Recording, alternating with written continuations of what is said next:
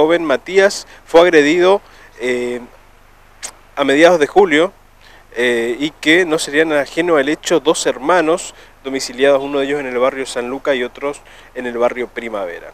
Eh, continuando con las averiguaciones del caso, fue posible la ubicación de uno de los hermanos, quien fue por supuesto detenido y aún se encuentra alojado a disposición de la justicia.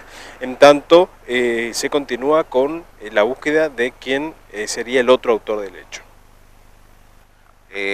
teniendo en cuenta que pasaron muchos días hasta que eh, este chico de 22 años fue trasladado al hospital porque bueno presentaba síntomas este, que hacían prever eh, un desenlace que finalmente lamentablemente sucedió ¿no?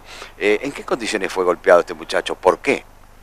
Bien acorde a los resultados de la investigación el joven Matías fue agredido en razón de que los autores lo culpaban de que él había sustraído algunas eh, pertenencias de la propiedad de uno de ellos. Fue así que eh, quisieron hacer justicia por mano propia y lo encontraron a Matías y lo agredieron violentamente eh, a tal punto de dejarlo en coma.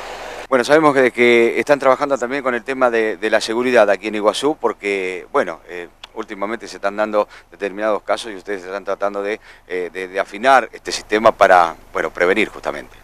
Así es ya que bueno, en, los últimos, en las últimas semanas se han eh, constatado una gran cantidad de eh, delitos contra la propiedad aquí en Iguazú, en diferentes puntos, tanto zona céntrica y barrios cercanos al centro, como así también en otros barrios ubicados en la periferia.